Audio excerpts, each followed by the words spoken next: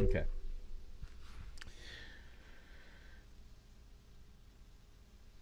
And we're live here on Facebook. We'd like to welcome those listening in podcast land and also welcome Rich for his welcoming of his favorite people. Um, yeah, yes. Welcome to those listening on our YouTube channel. Yeah. We have a lot of football to talk about. Uh, even some breaking down of some uh, poor decisions made on Thursday night. Mm-hmm. I will explain that, and Rich doesn't understand it yet, but he will, and he's going to tell me I'm 100% right. But Rich, how you doing? Let's let's get to that information first. I, I'm doing okay. It was kind of a long week of work, but uh, the one kind of like silver lining of it is that it's the last full work week of the of the for the next three weeks due to holidays and time off. So Yeah, nice, nice. that's always nice. Mike, I heard you uh, you got to uh, break in the snowblower. Yeah, we got about uh, eight to ten inches of snow. It's pretty deep out there, so we hopefully we can find uh, Grace a onesie or a uh, onesie and a snowsuit to put her in and plop her down in snow and see what she says. So, uh, but Is Sage liking the snow at least? no, she never does though. Oh, But I might try to snowblow some of the patio off so that we can. Uh, she doesn't pee and poop on the actual patio itself. yeah. If you haven't put two and two together, Sage is his dog's name. Yes, yes. Sage is the dog. Um, but uh, yeah, so But that's good. We have a lot to t- lot to do this week. Um, like I said, lots of football to talk about, uh, both college and professional. Rich, what else do we got on the docket for today? Well, you know, we'll be uh, going through a little bit of baseball news as well as a quick pit stop into the NASCAR corner because we had an ownership change or a partnership, Yep, all as that and well more. as talking about our favorite TV show, The Masked Singer. all that and more. But first, Rich, what should we do? Is it time to roll the intro?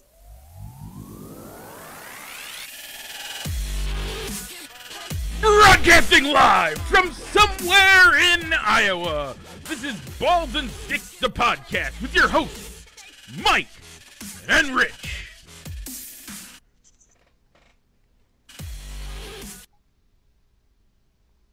And we're back. Okay.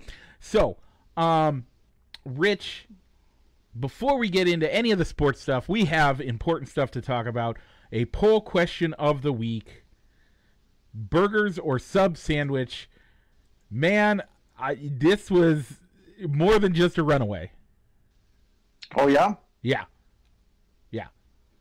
This is by far and away the most decisive decision we've ever had in our poll questions. Or at least in this series of questions. No, no, no. sure. This is there, you can't get any more decisive than this. Okay, well, what was the One hundred percent of the votes. One hundred percent. You can't get more decisive than that. Nobody likes a party sub. Everybody likes the burgers. Hundred percent of the votes voted for the burger. Yeah, I, I can agree with that. It, it seems like if uh, maybe at a couch gate, like you're hosting a party uh, to watch the big game, a party sub would be appropriate. Um, but it just seems like I mean, I think we've even been to games up in Milwaukee, and we've seen people sitting sitting in like their lawn fold-up chairs eating Subway, and it just doesn't feel right. It Yeah. doesn't look right. Yeah. I mean, sure, if you want your party sub, I suppose, but party subs. Yeah. The problem with party subs. Here's the thing. This is what nobody gets on party subs. The problem with party subs is that party subs, everybody gets the same sandwich. A real party sub. It's just a, it's a triple wide sandwich that's like two to eight foot long, whatever you get. But the the the meat in it, everybody gets the same meat. Then you yes, you get the lettuce that you can sprinkle on and the tomato you can throw on, but that's more of a hassle than it is an actual deliciousness. Like, have you ever had a good party sub, Rich? Like, if it's a sandwich I like, like getting something from the Hungry Hobo, yes. Yeah, if you get I have had good if you get a if you get a a, a hobo combo hmm party hobo or whatever they call it. Yeah, sure. That's a good one. Everybody likes it. But not everybody likes it. I mean, but do you get your lettuce and your tomato on it when you get it that way, Rich? No, no, you got to dress the sandwich yourself. It just then- comes with the meat and the cheese. And you get like you get a you get a like a sandwich that's like that big and you get a whole packet of mayo. And so you're going to waste half the mayo away. And what if I want onions and peppers? Tho- Those are probably also going to be on the side. So now I gotta the whole joy of going to Subway or Hungry Hobo. By the way, if you are up north here with me, Hungry Hobo is the best uh, sub sandwich place that you can get uh, in the Quad Cities. Close second, Grinders. By the way, Yeah, those gondolas are pretty good. man, I we had we had it two weeks ago. We went there and I got a gondola and Danielle got a, a sub sandwich and it was delicious and I like I still like just talking about it now makes me want to get a gondola again. But either way, nobody's ever happy with a party sub because there's more work involved. A burger, I mean, yeah, you got to slap your ketchup and your mustard and your pickles on it, but that's okay. Normally they're in an easy squeeze bottle, so you don't have to do all that much work. Burgers are where it's at. All right. So, Rich, this week's poll question: What do we got? Uh, we're going to be going with bratwurst versus buffalo chicken dip. Man, I think This is where we got into that gray area on between like, well, that that's an appetizer. Do you really do that at a, at a tailgate? But we decided to keep it in. It won its it did. preliminary poll to get into the the top ten. So here it is. Yeah. It's No, probably going to go live after we get off of the air, because I don't think I have it scheduled yet. I might already have it scheduled, uh, but either way, it's going to go live at noon. Okay. Um, so let's head into the gridiron. This week's folks, we have to talk about um, our fantasy pick'em. Um, I just closed out of it. I don't know why. So, uh, if you are gambling with the picks that we have made, by the way, you've done pretty good. Really? Yeah. Uh, Rich, if you followed me, you you would have won 122 games, and you would have only lost 72 games. Hmm. So if you spread the money out evenly and you play only the money line, you're you're going to be up quite a bit. Rich, you're not doing quite as well. You're still doing quite well though. 112 games versus 82.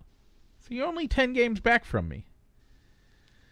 Even if you listen to Midget Nation, shout out to Midget Nation, third place. He is 103 games uh, and only lost 91. Yeah, your money's a little closer there, but you're still up. Now, if you're following these D's picks or you're following Dupo, uh, well, Dupo hasn't won any games, and these picks has only won nine. But Sullivan also hasn't lost any games either. I mean, if you don't pick, you lose every one of them. Okay. It, I guess in those rates. Now, Um. So so giving you a recap. Um. So who won the week, Mike? I did at 10, and you and Midget Okay. Nation tied at 9. Okay. So, So I don't I don't think that I'm gonna be able to um make up those ten games on you to take over first place unless I just go crazy on the upsets and just go opposite world. Um but I don't think that, that that's a strategy to follow nope. since since some of those teams are really favored to lose by such a large margin, especially the Jaguars and the Lions and the Texans almost every single week. Yep. So, game 13, uh, uh, week 13, um, the Cardinals, the Bears actually looked a lot better than I thought they were going to. Really? Yeah. I, I didn't get a chance to watch the game. Um, They stayed were in the game sort of- decently. Um, They uh, Andy Dalton had four picks. Or was it three picks? Yeah, that didn't help. By the way, if it wasn't for turnovers, th- this is this is the, the this is actual factual truth. Uh the lead, the the 11 point lead is all based on turnovers. Hmm. They actually scored um less it if they didn't turn over if it wasn't for the turnovers in the game, the Bears actually scored more points. All right. The turnovers make the difference, and the Bears lost 33 to 22. Uh, so, Mike, the Bears are down to four and eight. Um, if they're going to make that eight win over under, they're going to have to win four out of the last five, which I, I don't see happening. So I'm I'm willing to stop making picks based on the fact that I want to see them win and get to eight games. Uh, Rich. so I'm eight and four and picking the Bears, and you're nine and three. Yeah. So, um, this week, th- the Bears play the Packers. We'll give you our picks on that later. Lock of the week this week, Rich. I picked the Rams over the Jaguars, thirty-seven to tw- to seven uh, in Mhm. favor of the Rams. Nice, nice game for me. Uh, Rich, you picked the Bucks over the Falcons at thirty to seventeen. Yet another solid victory. Good job on that one. That means we are both 10 and 3 on the season. Rich, how do we do on our upset picks of the week?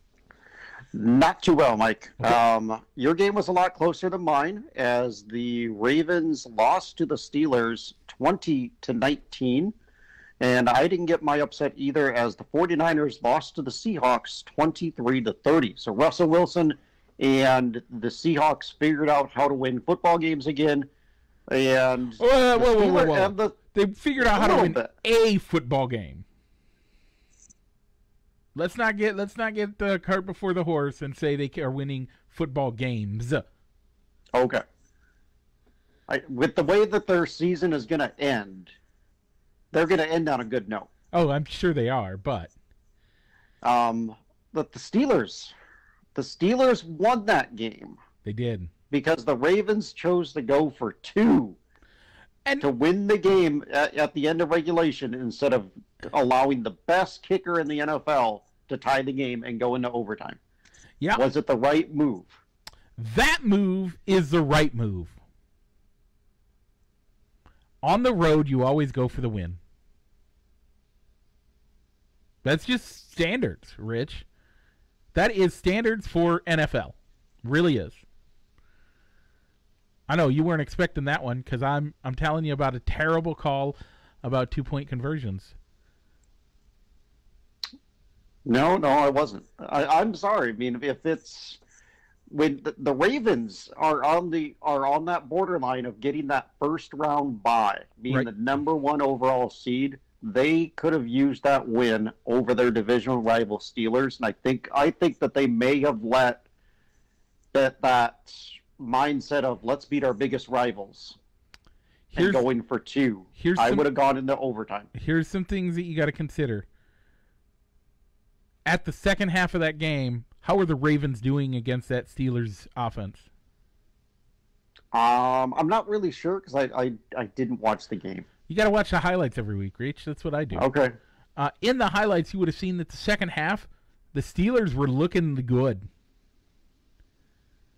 There's no guarantee you could have stopped him from getting a full touchdown in that on the if they would have gotten the kickoff on the first drive. No way. You can't tell me that you can guarantee you're going to stop them. So if you can't stop them, if you can't guarantee a stop, going for two's the right move.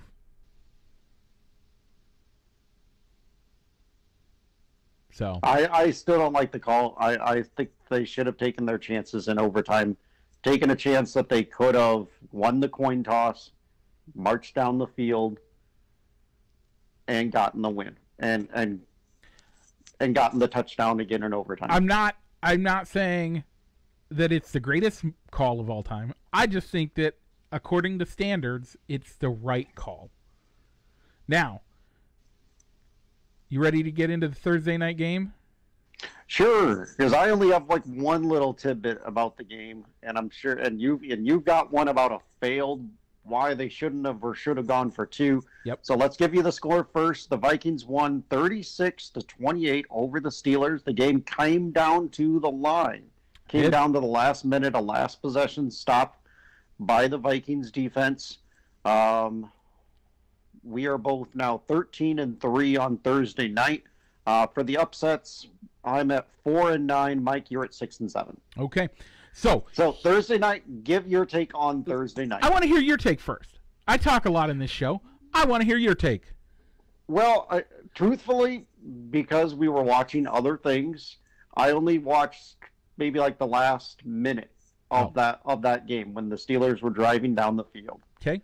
So it was fourth and one. They needed to convert to keep their hopes alive of tying the game. Roethlisberger completes a, cl- a clutch pass to, Clay- to Claypool, who, with the time running, with the clock running, no timeouts, does like his usual first down, like celebration. With the clock running, Yeah. and there was and because there were other players around him probably personable probably for probably on purpose they had problems getting the ball back to the officials so that they could set the set the ball for the next play. All the while the clock is still running. Yeah.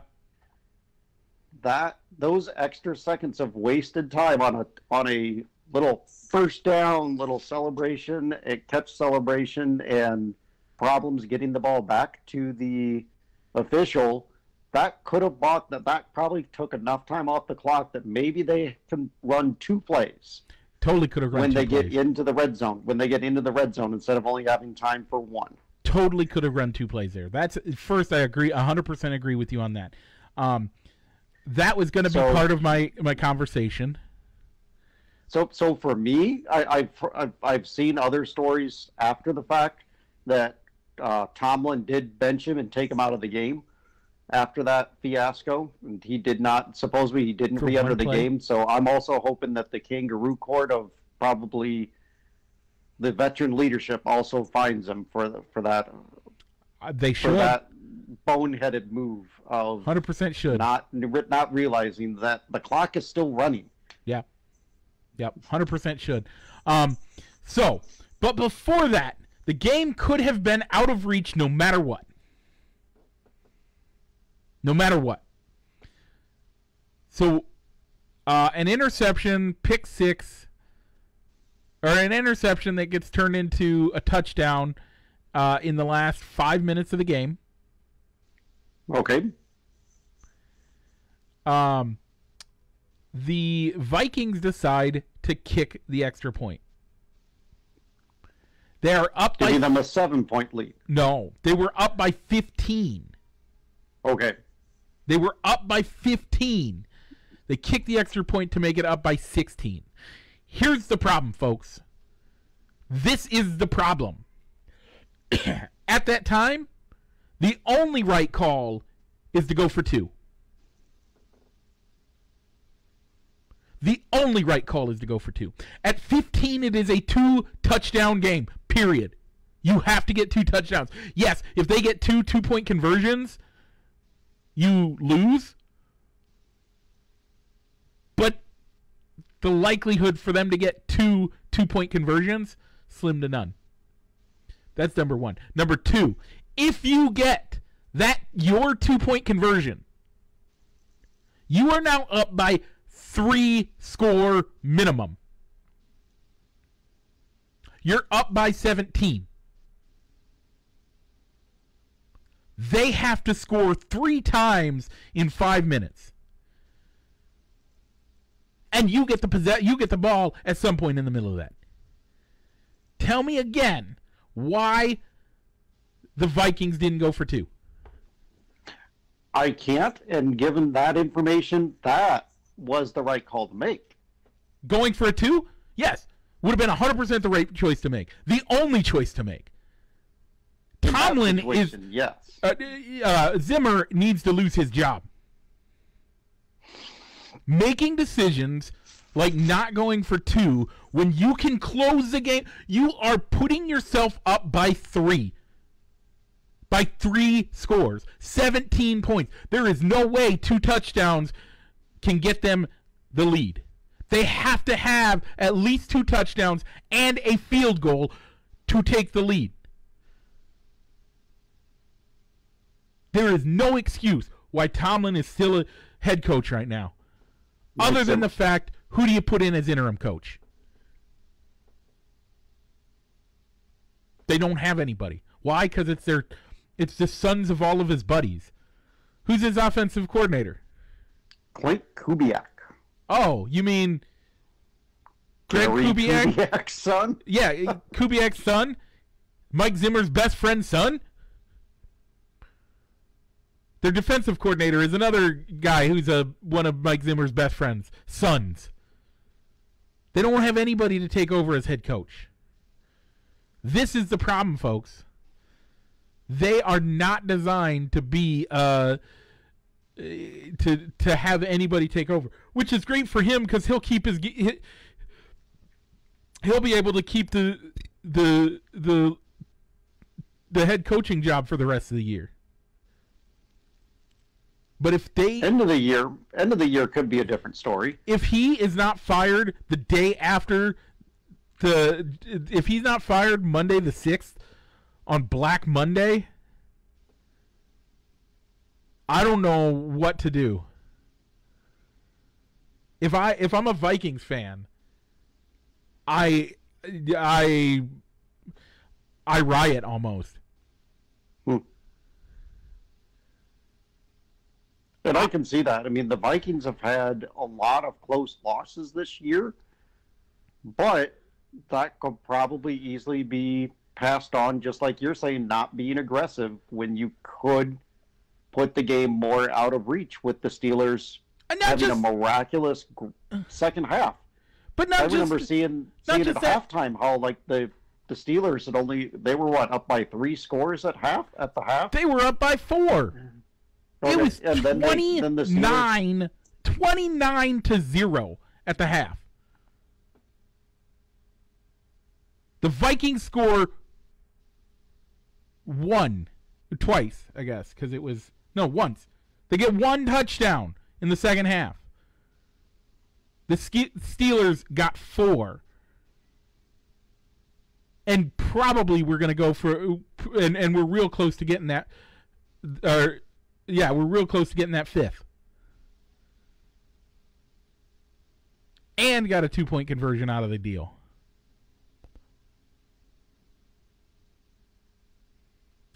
Your second, the Vikings' second half play has been deplorable.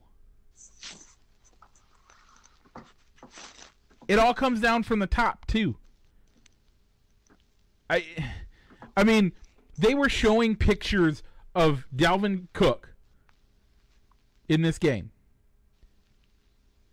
As the game's going on, he's sitting there like, "Oh my god, we're going to lose this game. There's nothing I can do about it. We're going to lose this game." He knew they were losing this game. It was over for them. And he was dejected. Like you could see it in his face. Like he's just shocked watching the score rack up to 28 points. Just ridiculous. No reason why that game should have gone that way. Fire Mike Zimmer. Okay. Yeah, I, I think he does need to be fired. Um, coaches needing to be fired. Um, have you heard Matt the latest Nagy? rumor about the Bears? Nah, who, who they bringing in after Matt Nagy? Supposedly, they are really high and want to bring back Leslie Frazier eh, back to the organization. Leslie Frazier was a defensive player on the 85 Super Bowl team. He's the current defensive coordinator for the Buffalo Bills and former failed Vikings coach as he, he his only head coaching experiences with Minnesota and he had a losing record. Yeah.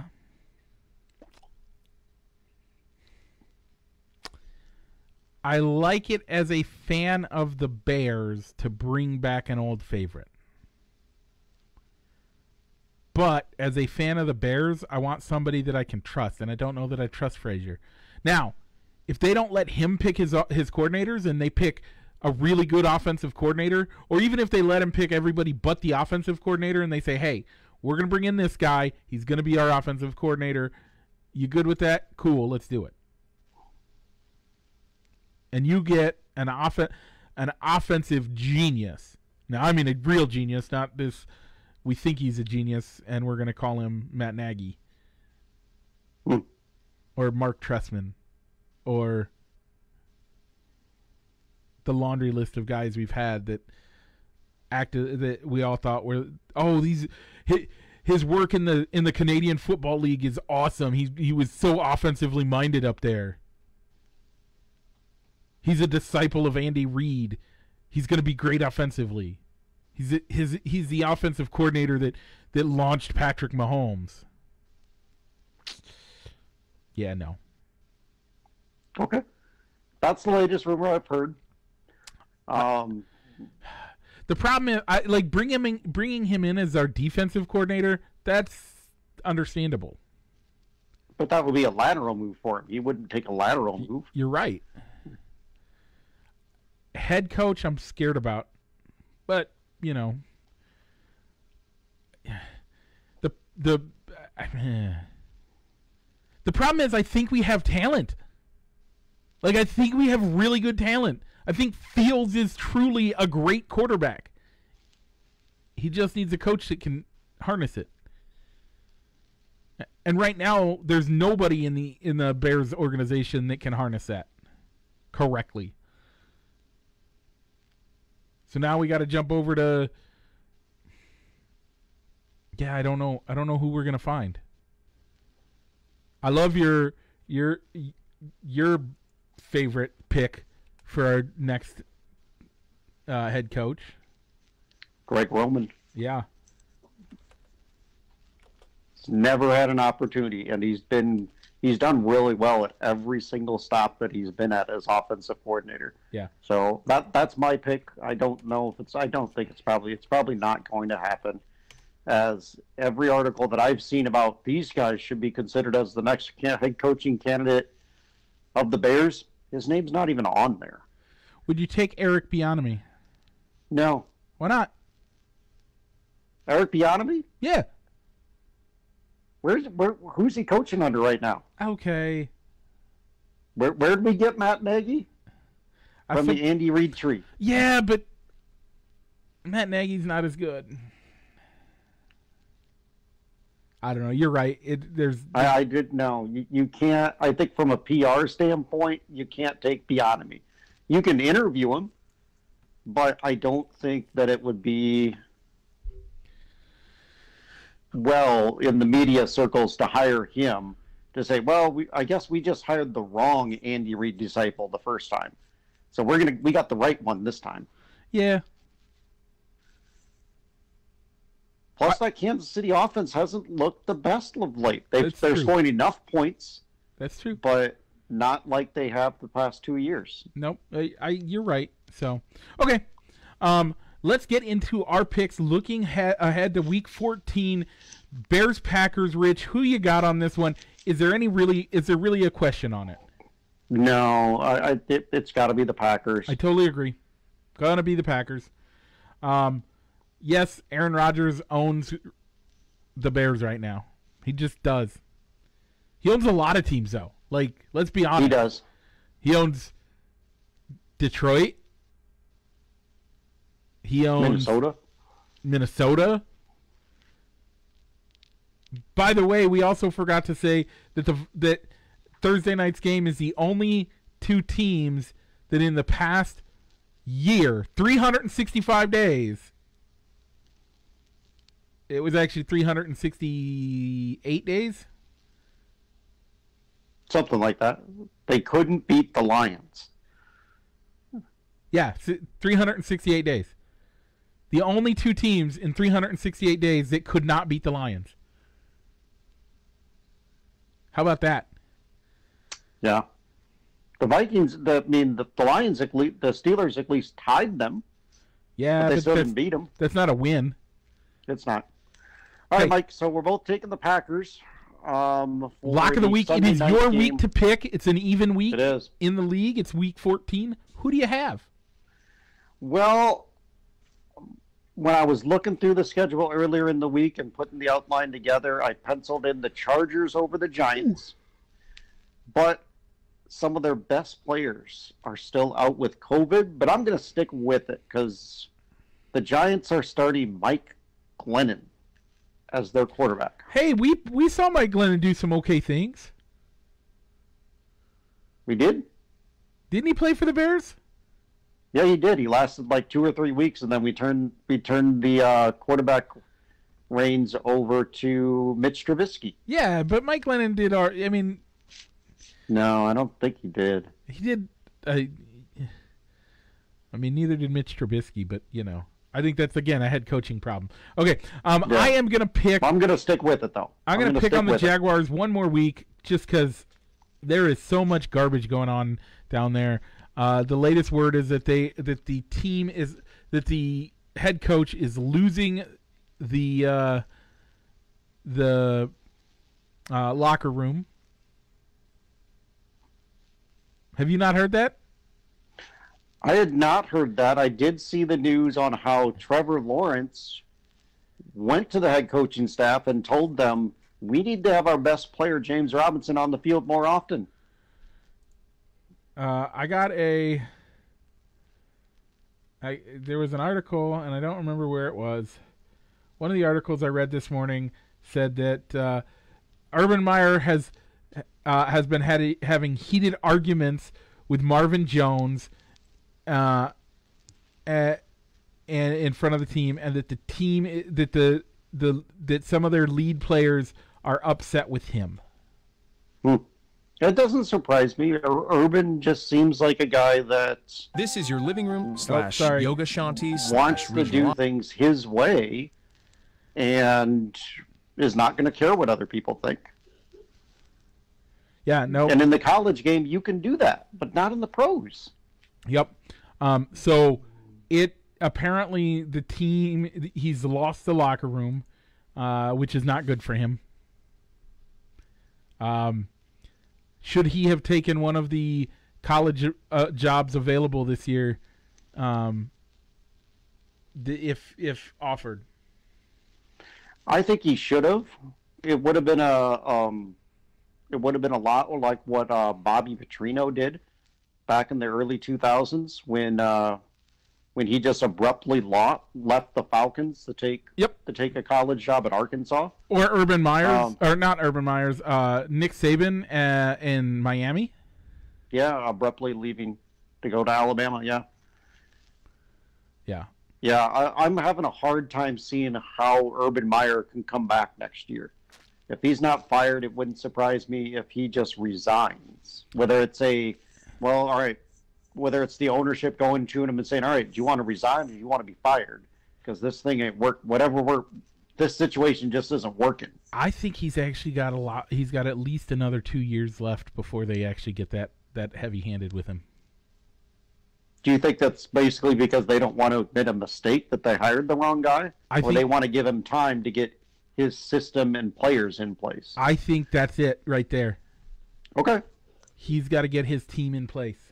He's got to get all of that stuff ready to go. All right, then that's fair. Um, uh, upset specials, Mike.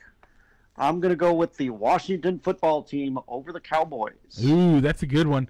Uh, I'm gonna pick the Buffalo Bills over the Tampa Bay Buccaneers. All right, they're going out on a limb. Well, I don't think it's that big of a limb. If you look at Buffalo, when they've played in nicer weather, they're a great team.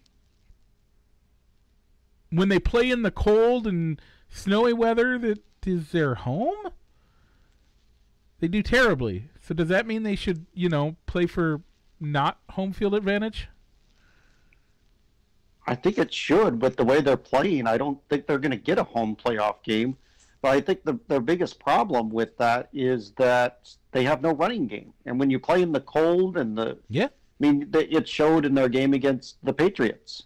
But they're not going to be in the cold completed three passes that game when they on the Monday night game. They completed three passes Yep. and they just ran the ball. Yep. Due to the high winds and the cold weather, But Buffalo still stuck to their game plan of all right, let's let's throw the rock, yep. and they lost the game. And but they're not going to be in a cold weather, windy weather area. They're, They're going to be in Tampa Bay this weekend. So it's going to be nice weather, and they'll do well. So let look for them Buffalo Bills to upset.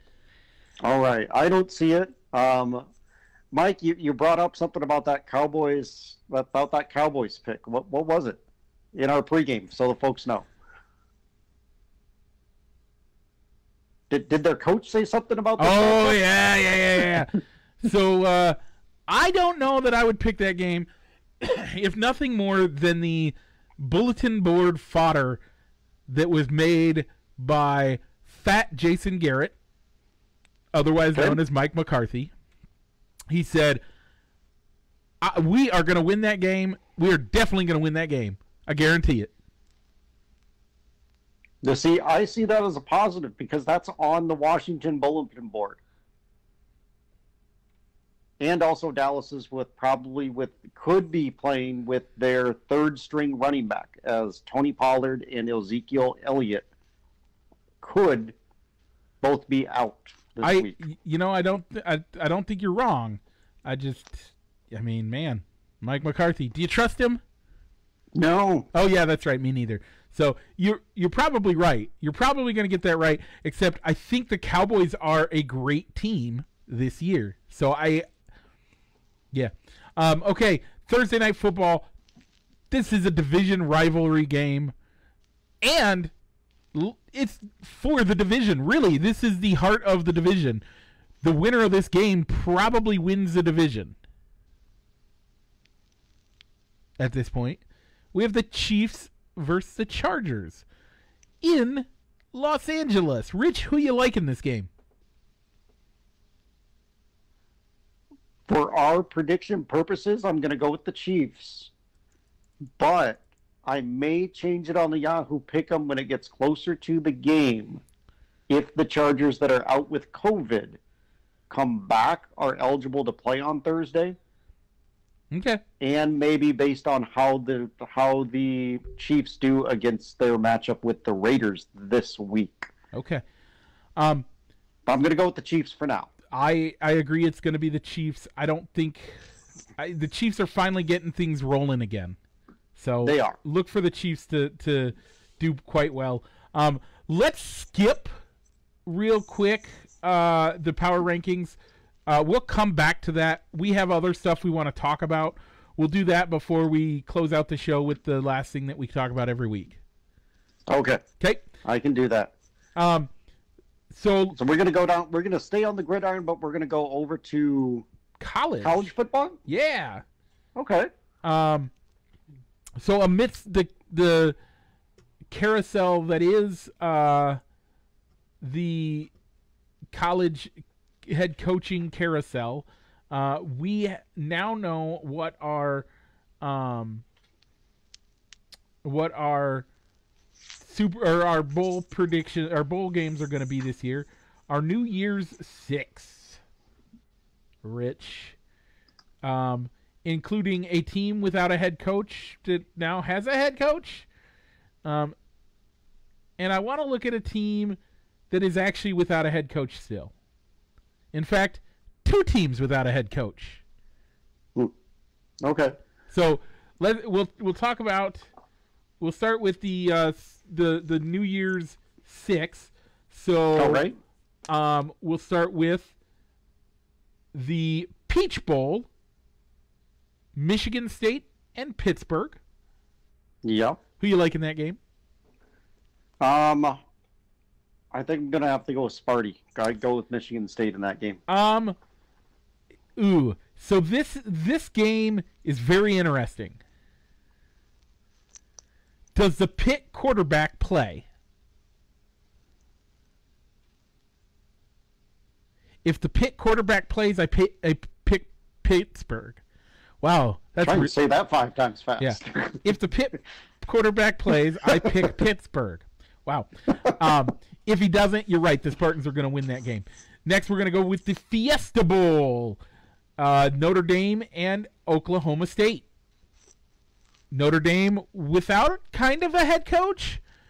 Yes, No, they, no, no. That they they they have a head coach. they have a head Mike- coach, but The, the, head coach the head coach is their former offensive coordinator, so theoretically his his basic plans are in place. Right?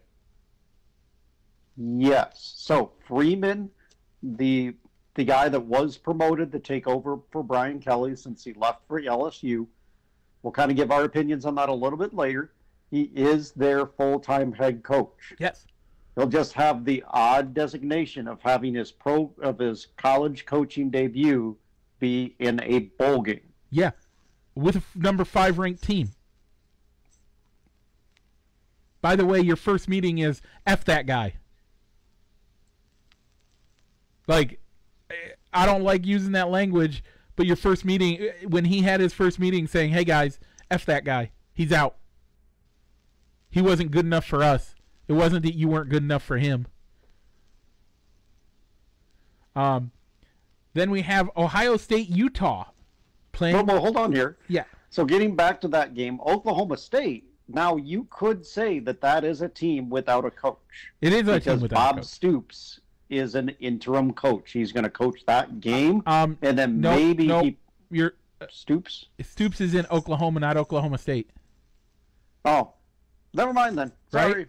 Sorry, I'm jumping the gun on that one. Yeah, he is. Oklahoma State does have a full-time head coach. They did not lose theirs. Yeah. Um, I still like Notre Dame.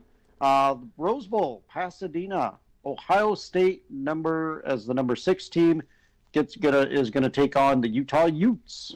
Yep. Um, I like Ohio State in this game. It just makes sense. Yeah, Uh, Baylor, Ole Miss in the Sugar Bowl. I like Ole Miss. Yeah, I think I like Ole Miss on that one. Now we get into the important games. The Orange Bowl featuring Michigan versus Georgia. They did this so that the I, I I guarantee you the reason they played they they have the rankings the way they are is so that it's SEC versus SEC in the national championship game. Tell me Yeah. I, I don't think that they would have wanted to have a rematch of the SEC championship game so close to each other to have these guys play each other on back-to-back dates. but even beyond that, it's it now sets it up because Georgia's going to win that game, right? I'd like to see Michigan win it, but I I, I, I think that Georgia's going to win. But if you're but to your little argument about well they they just set it up because Georgia they didn't want to see a Georgia Alabama first round semifinal game. Is Cincinnati better than Georgia to justify that Georgia could have been should have been number four? They're undefeated. By the way, they are the only undefeated team in the top four. Playing a much softer schedule than everybody else in the top four. Okay, they're still the only undefeated team in the top four. They are. So But is that undefeated record, when you look at their schedule, justify them being higher than four? no, I agree. Okay. Um, yeah, a I, tough draw from a tough draw for Michigan, right. but I think the committee got it right in how they ranked one through four. Though. Um, I think Michigan could have been put in number four, and you could have put Cincinnati in three. Georgia could have been number two.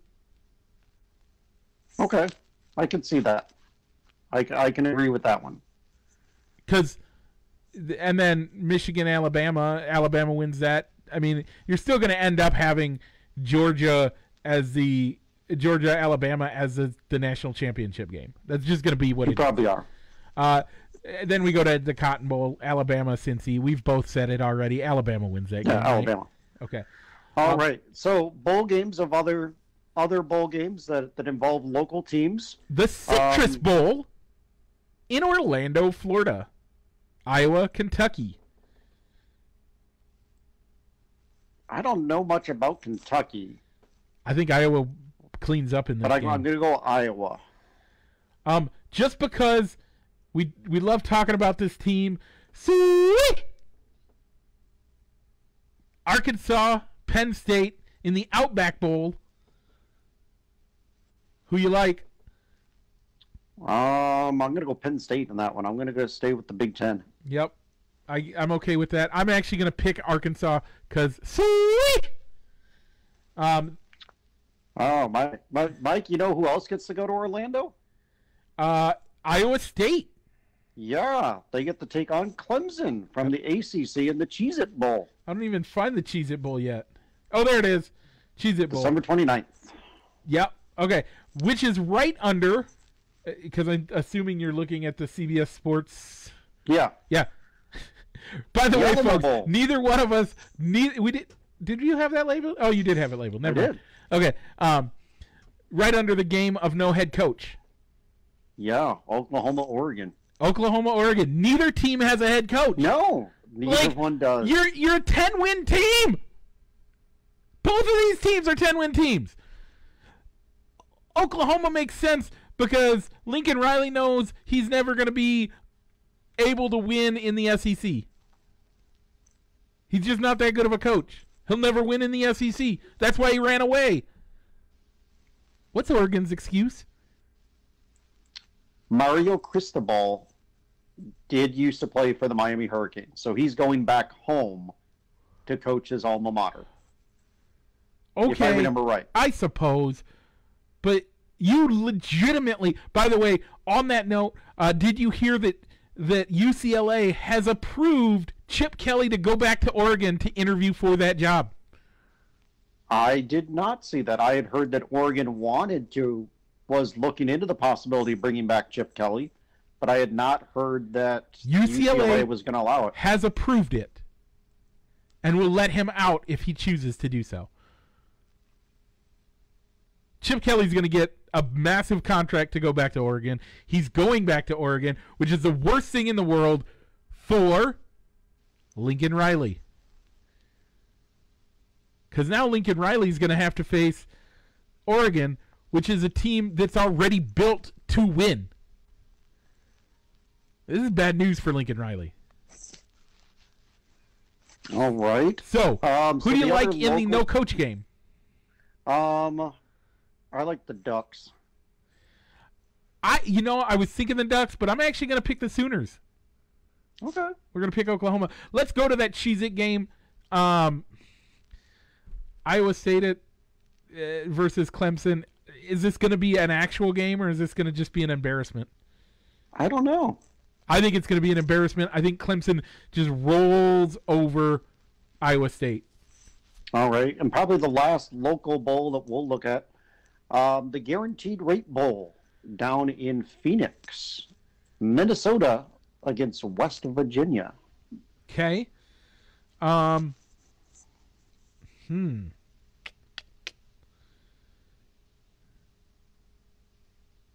Isn't that uh, West Virginia Volunteers? No, it's Tennessee Yes. Uh, West Virginia is the Mountaineers. Mountaineers. That's what it is. Yeah. Um. As much as I want to say Minnesota, I've always been I've West Virginia has been my second my like college team that I actually in I follow that's not a Big 10 school. Okay. So um But no, I yeah, Minnesota looks good. We'll go with Minnesota. All right. Um, yeah, I think I got to go with the the Mountaineers in Now- that one. Now, Rich, one thing that we don't have on here today is the big day. You're not wearing any gear to support your team today. I, I am. I am. It's it's off camera. I have the Oh. United States. I Oh, you have the Army, United States, The Eagle. the Eagle. So you are supporting. Are you, are you picking? Uh, are you picking uh, the the army as always? Of course. Okay. By the way, folks, uh, the Army Navy game, the one game where after the game, any one of those players would take a bullet for any one of those other players, any day of the week. That's right. I if it do, if that that doesn't bring a tear to your eye, you're not American. So, um, So any other bowl games you No. that you feel could be a good matchup, No, Could- or good. maybe watch. So we kind of made a kind of talked a little bit about coaches leaving their teams. You mentioned Brian Kelly abruptly leaving for LSU to, to coach in the SEC. Um, we got now we supposedly could have UCLA um, losing its coach to allow Chip Kelly to go back to Oregon. Um, Lincoln Riley left for left Oklahoma to go to USC. Um, and I believe those were the and then uh, when uh, Oregon losing Mario Cristobal, who is going to go down and coach Miami. So where do you want to start on this, Mike? Because you brought it up as something that you wanted to talk about last week, but we just ran out of time. So technically, there's only two. There's still two openings. Temple and Oregon are the biggest. Are two FBS teams that still have openings. Um, big stories to talk about. Uh, how about Florida uh, picked up Billy Napers, Naper, uh, the Louisiana head coach, Okay. Which makes an opening at LSU.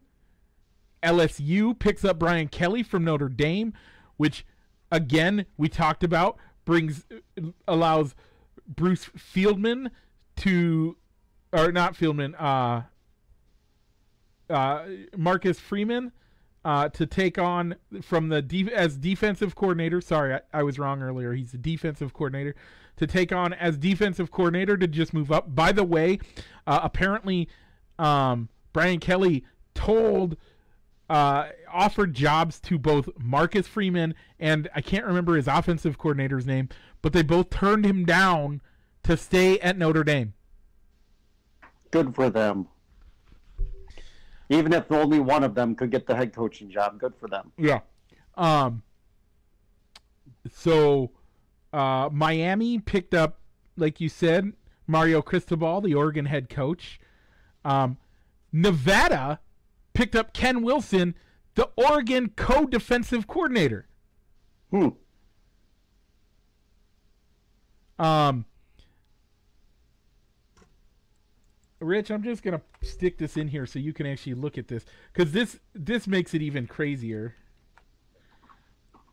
So, so where where do you want to start with head coaches? Did did any of the I mean the bigger names that moved, Kelly and Riley, did they make the right moves? That's a split answer for me. Okay. Uh, Chip Kelly or Brian Kelly, yeah, I think that's probably the right move. Wrong way to make the move, but the right move. Actually, no. I'm sorry, that's wrong. That is the wrong move. I think LSU's the better place to be. Now, or Notre Dame's a better place to be. But the problem is he wants to recruit people that he knows will never get into Notre Dame. That's the problem. He wants to pick up guys who are less than qualified human beings to play at Notre Dame. Notre Dame has some high standards. And not just about your academics, but they have some life standards that you have to be a part of. Chip Ke- or Brian Kelly couldn't make that work. So Well, I um, think he did make it work. He just never But, thought. I mean- he he realizes that without some of those terrible human beings as players, you're never gonna get. Um, you're never gonna get. And if anything, the, the academic standards will be lower, yeah, so he won't have to always recruit people with in mind of, well, I, well, I, I'd love to recruit you to Notre Dame and bring you aboard, but you just don't meet the standards academically. Yeah. And we don't think that you would fit in at Notre Dame based on probably the moral standards that, that the college has, being a private Catholic school. did you click on that link I sent you? I did not. Okay, you should look at it because Oklahoma actually does have a head coach already.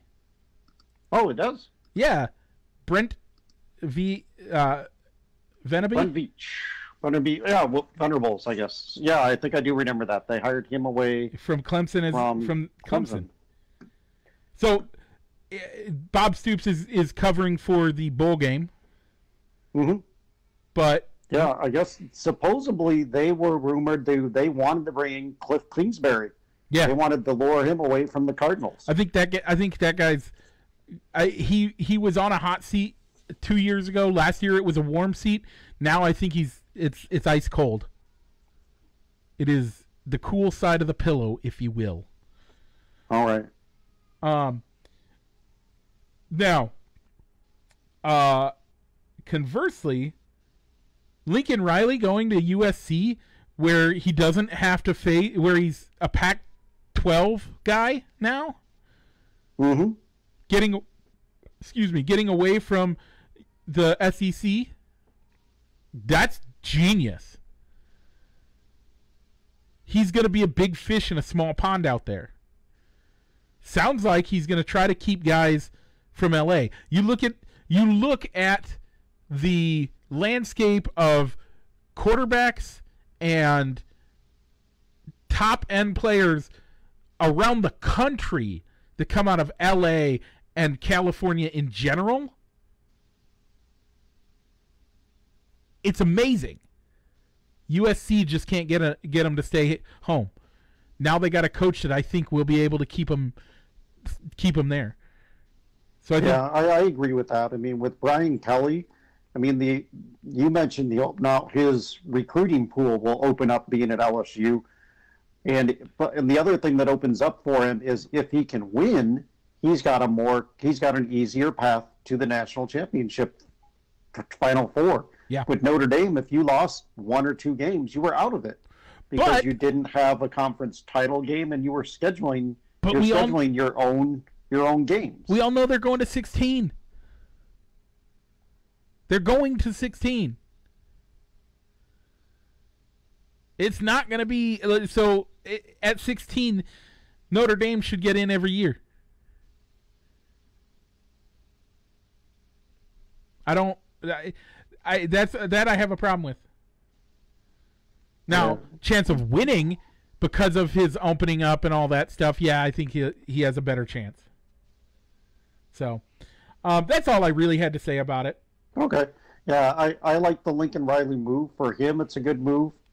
Um, I, I still don't understand why Texas and Oklahoma, other than for money, are wanting to leave the Big 12 to go to the SEC. They're going to have a hard time winning football games. If you can't win in the Big 12 and you're going to go to a tougher league, Yeah. good luck.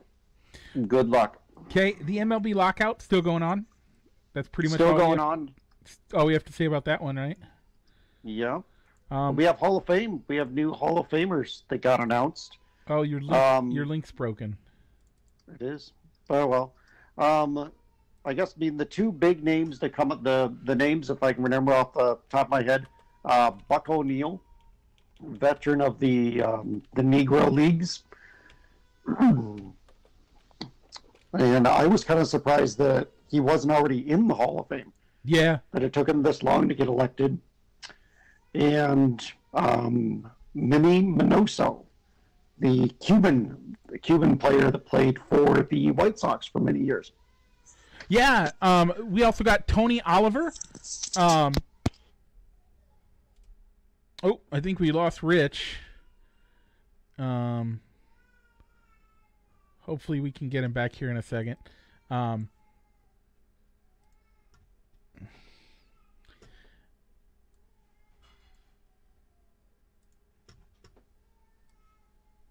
anyway, um, there you are back. Hang on, I got you muted. And I guess having the headset here, that dropped the call. That ended the phone call. And Eh, no big deal. You're back though. Um, do you get get your throat cleared out? I did. Okay. A little much better. Okay. Um, so uh, Buck O'Neil, and like you said, and and Buddy Fowler. Um. So Gil Hodges, Jim Kaat, and I think you were saying before I dropped off the call, uh, Tony Oliva. Yep. From the Twins. yeah. And uh, So they were voted in by a veterans committee that that uh, looks at players from that era of baseball that didn't make it in by getting voted in by the writers. did the writers and not the vote writers. anybody in?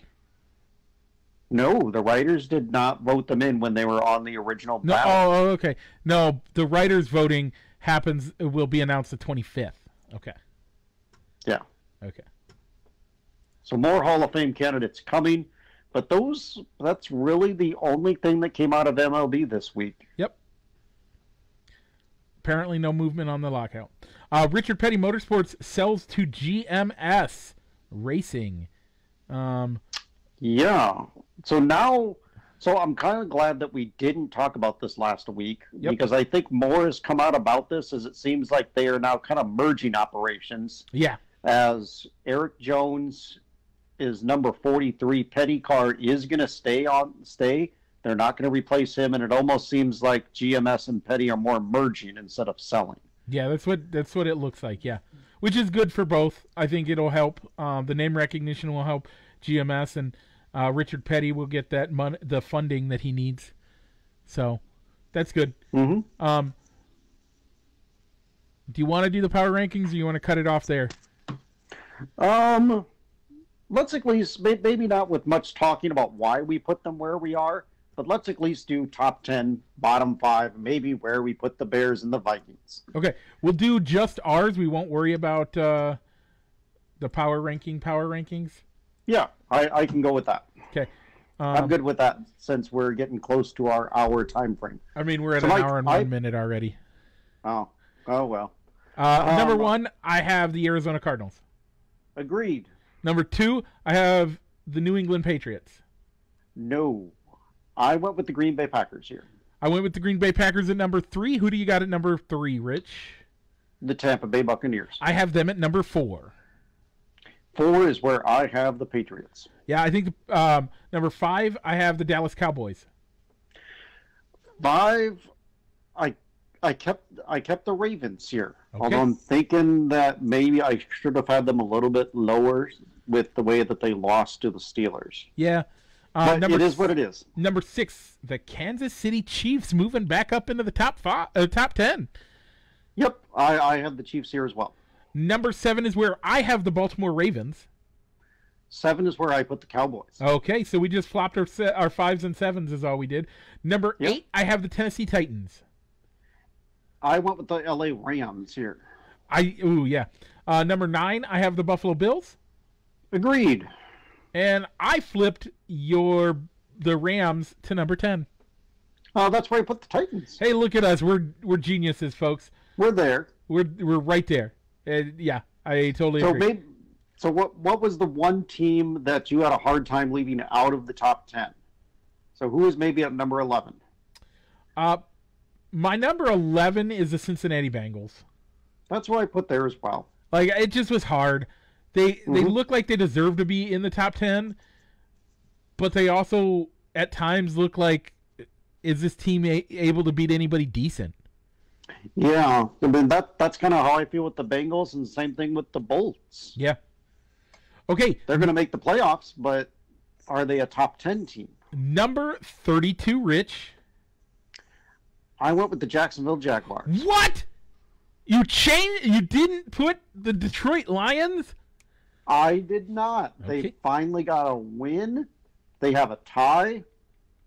They have a tie against the Steelers team. So and yeah, Okay. Um, I went thirty-one for the Jacksonville Jaguars. um, the, the Lions didn't move up too much. Mike, that's where I have the Lions. Who do you got at thirty, Rich? The Texans, Ding, ding, ding. Twenty-nine. the Jets, Ding, ding, ding. Twenty-eight. the Chicago Bears. I actually have the Giants here. I have the Giants at number twenty-seven. Rich, we talked about it last week. In a head-to-head match, who do you like better, the Bears or the the Giants? Probably the Bears. Okay, But Uh, looking at their records, I, I and maybe judging the Bears more harshly because you watch because them. they're my team and I watch them. That's why I had to put them below the Giants. I have them at twenty-six, by the way. All right, 26 is where I put the Seahawks. Okay, I have the Seahawks at twenty-seven. Okay. So, um, So where do you have again, they're Vikings? not that far off. Which team? The Vikings? I put the Vikings at number 23 at the time. Uh, as did I. As did I. Okay. By the way, they moved up. They they do. They will move up uh, next week, uh, as the Steelers will also move down significantly. By the way, for me. Okay. We'll see. Yeah, I thought I, after seeing how they lost and maybe how they've also played the past couple of weeks, I think I had them too high at number 15. Yeah, Yeah, that's that might So be. they're probably going to be moving down into at least the lower teens, maybe even into the 20s next I have them at thir- I have the Steelers at thirteen. I think they're going to be Hmm. at twenty, if not lower. Okay. But So maybe more time with power rankings next week. Yep. And also probably off air, Mike, we'll probably have to schedule how we're going to do the shows with the holiday season coming up so we can announce that on next week's show. Rich, you have a big shout out to make, don't you? That would be next week. Oh, you're going to do it next week? Isn't that Yeah, the, is that the week. exact date? It is. It is, isn't it? Okay. Yeah, that'll be next week. Um, I do have a shout out before we get into the Masked Singer, though. Um, a happy birthday to my nephew Brady, as it was his birthday this week. They were supposed to be coming up here for a family birthday celebration, but had an illness uh, in the family, so Those are never we won't get to see him until around Christmas time. Okay. Well, um, folks, I have no shout outs. Oh, I do. Eli Kincaid, happy birthday. Yeah. Eli, fan of the show, happy birthday, sir. Next week we have a couple of big shout outs. We'll talk about those Yeah. next week. Okay. All that next week. So, Mike, spoiler alert, spoiler alert, spoiler alert. If you don't want to hear fan- about the Masked Singer, you have our permission to leave. But before you do, please like like this video, rate us, and uh, give us a big thumbs up. Subscribe, all those things. Uh, if you're on YouTube, leave a subscribe, hit the bell. leave, us Leave a comment. If you leave a comment, we'll give you a shout out next week. if you leave a comment saying you have to leave if you're if you're a Masked Singer follower and you haven't watched it yet leave a comment that you haven't watched it yet let us know if you do follow and you do watch the Masked Singer and you want to shout out anyway tell us what you thought of this week's uh, mass unmasking so that's enough rich Yeah, that's enough. the banana split and the heart went against each other this week with some really good duets. By the way, I don't think I've ever heard um, Michelle Sir, Scherz, or Nicole Scherzinger. I don't think I've ever heard her sing. I said the same thing about Robin Thicke. I've heard Robin. I never Robin knew Thicke. Robin Thicke was that good. I heard Robin Thicke. I did not realize he was that good. Blurred lines, uh, it's auto tuned and produced too much. Uh, but yes, it was great. Uh, both of them shocked the heck out of me at how good they were. Both of them shocked the heck out of me at how good they were. What did you think? Well, I kind of walked away from last week's episode wishing that they had not unmasked the skunk and then pulled her as a wild card and let her sing one more week and go up against that and made it a three way competition for who gets to go against the bull. Yeah. And I think if that would have happened, Skunk could have beat him. I think Skunk could have beat him. Um, I think, I do think, uh, I was, man, so uh, here we go. This is where it really gets spoiler time. The Queen of Hearts won the Group Yep. B uh, finals. And I think that was the right move. Uh, I do. T- I think the singer of the Banana Split is one of my favorite singers of all time. Mostly because I fell in love with her on, uh, on American Idol.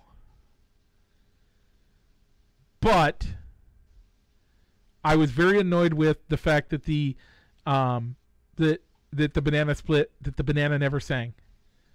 Yep. So because of that, I think it's the right decision. If the banana split would have sang, and it would have been duets the whole time, I honestly think they could have done well enough to be to to to deserve to win the Group B. But the d- banana split went home, and they were Katharine McPhee and David Cross. Yeah, I love Katharine McPhee, by the way. Ever since she was on uh, on uh, American Idol, uh, yeah.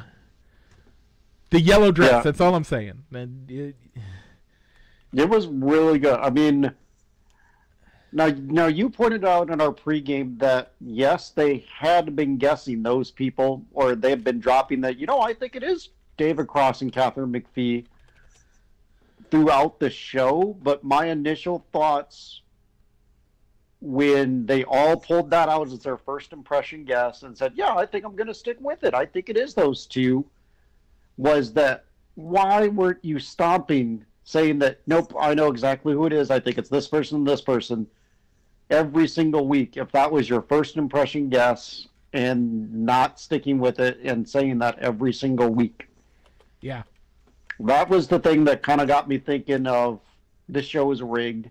They they either allowed them to change their guess and that was their first impression guess or they didn't want them revealing every single week that it was that person because then that picks up too much steam and then my other theory of if the panel is right is right on it's that guy they're the ones voted off that night Yeah, that that they had always been my theory as well. But uh, that they have voted for those. They've had multiple they have times. said the both of those names multiple times throughout the season Yep. Then I can re- then I can then I can go with that. I don't I don't remember them saying that group that that uh that couple throughout the throughout the season, but uh I just found it odd that three people said that's who it is on the on the first night. Yet there really wasn't much talk amongst the panel when they were when that was brought up before their unmasking that you know what I think it is that group. I can agree with you on that or No, they. but the but the fact that Robin came out and said, you know, I don't know if it's David Cross. I, I he's a family friend. I know that's not Uncle David. Yeah. Was kind of neat, kind of a fun tidbit. Yep. So, folks, um, I think So the that- season finale, who do you like, the bull or the heart? the bull. Yeah, The bull. I think the bull has uh, way like, man, the bulls. I, I think the bull's gonna win. yeah, I, I gotta I gotta agree. So, Any guesses on who either of them are? I don't. I don't know. Do you? I don't. Okay. Um, I, I- I think that the heart is some country singer, female country singer, but I mean the one name that came up to mind was Kellie Pickler, but I, I don't think that, that the body build is right for her. Well, the heart hides a lot of the body. It does. Um.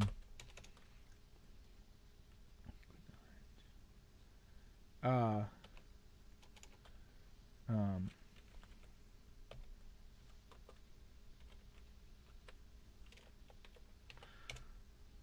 So more on the Masked Singer next week, Yep. as we'll know who won. We'll know who the final two people are, as both of them are getting unmasked next week. And um, I so think I that think does it for that the show, wraps up Rich. our show. So what's the time to do, Mike? Roll the outro.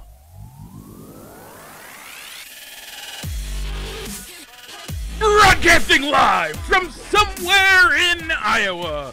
This is Balls and Sticks, the podcast, with your hosts, Mike and Rich.